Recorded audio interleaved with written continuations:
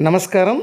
Hasa TV ప్రేక్షకులకు స్వాగతం. ముఖ్యాంశాలు అమరజీవి పొట్టి శ్రీరాములు త్యాగాన్ని భావితరాలకు తెలియజేయాలనే లక్ష్యంతో ఆయన స్వస్థలమైన ప్రకాశం జిల్లా పీసీపల్లి మండలం పడమటిపల్లికి సినీ నటులు సాయి చంద్ చేపట్టిన పాదయాత్ర ముగిసింది.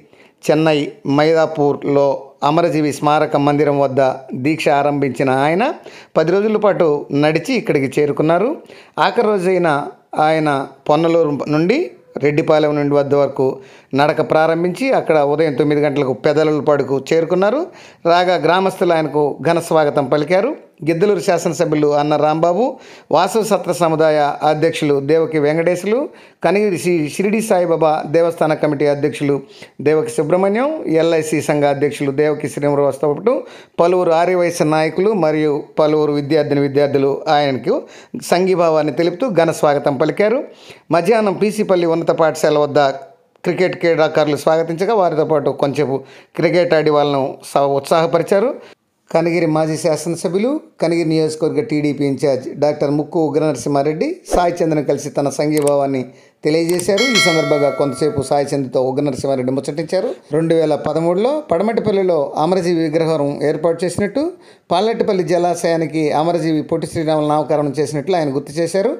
అక్కడి నుంచి పడమటిపల్లిలోని పొట్టి శ్రీరాములు జన్మించిన ఇంటిని సాయి చంద్ర పరామర్శ సందర్శించారు. నేలపై కూర్చొని కొద్దిసేపు దీక్ష చేశారు. విగ్రహానికి పూలమాల వేసి నమస్కరించారు. అనంతరం జరిగిన సభలో ఆయన మాట్లాడారు.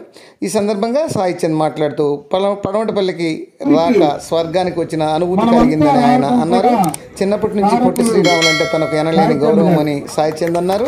తన రాక తన తాత రామస్వామి ఆయనతో కలిసి అనేక ఉద్యమాల్లో పాల్పంచుకున్నట్టు చెప్పారు. ఆంధ్ర రాష్ట్ర అవతరణ కోసం ఆయన చేసిన త్యాగానికి డెబ్బై ఏళ్ళు పూర్తయిన సందర్భంగా సంకల్ప బలంతో తాను ఇంత దూరం నడిచి వచ్చానని ఈ సందర్భంగా సాయి చంద్ తెలియజేశారు నమ్మకం కలిగిస్తే కొండలు సైతం పిండి చేస్తానని ఈ సందర్భంగా ఆయన ప్రజలను ఉద్దేశించి మాట్లాడారు. పెదలపాడు మరియు పడమటిపల్లి ప్రజలు బారులు తీరి సాయి చంద్కు స్వాగతం పలికారు. ఎన్నాళ్ళకు మా పొట్టి శ్రీరాములకు గుర్తింపు వచ్చిందంటూ సంతోషం వ్యక్తం చేశారు సాయి చంద్. ఈ కార్యక్రమంలో జిల్లా నలుమూల నుంచి ఆర్య సంఘ నాయకులు మరియు మహిళా సంఘ నాయకులు వచ్చి సాయి చంద్ను సత్కరించి సంఘీభావాన్ని తెలియజేశారు.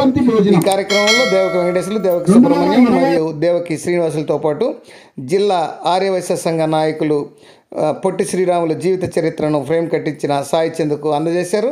కార్యక్రమంలో ఆర్యవైశ్య చైర్మన్ కుప్పం ప్రసాద్ జిల్లా ఆర్యవైశ్య సంఘ అధ్యక్షులు రాపూర్ జనార్దన్ మార్కాపురం మున్సిపల్ చైర్మన్ చలంచలం కృష్ణ రాష్ట్ర ఆర్యవైశ్య సంఘ మహిళా నాయకురాలు సిద్ధా సూర్యకుమారి వైకాపా నాయకులు సుబ్బారావు గుప్తా ఓకే రెడ్డి బోరారెడ్డి తెలుగుదేశం పార్టీ నాయకులు వేమూరి రామయ్య గడ్డం బాల సుబ్బయ్య తదితరులు పాల్గొని ఆయనకు సంఘీభావాన్ని తెలిపారు.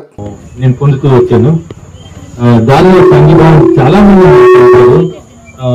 దానిలో వస్తూ వస్తూ నెల్లూరులో ప్రత్యేకంగా నేను మౌంట్ అది హైవేలోనే వెళ్దాము అనుకున్నాను. ఊళ్ళలోకి వెళ్తే మళ్ళీ అవన్నీ ఆలస్యం అయిపోతుంది నాకు ఎందుకంటే నా చాలా ఇదన్నమాట పడమటికి వెళ్ళిపోదాం పడమటికి వెళ్ళిపోదాం లాగుతూ ఉన్నాను అనమాట